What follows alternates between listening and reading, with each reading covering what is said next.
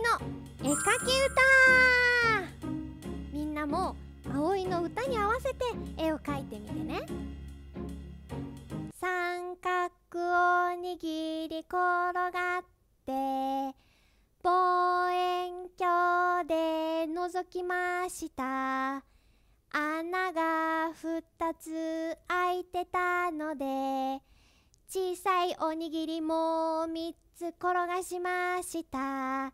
さらにもう2つ転がしました。おまけにもう1つ転がしました。お返しに卵をもらいました。卵から羽が生えてきてあっという間にちょめちょめ。それでは問題です。今葵が歌った絵描き歌の答えは何でしょう？正解が分かった人は YouTube のコメント欄。もしくは Twitter に「葵の絵描き歌」とつけてツイートしてください。正解は1週間後。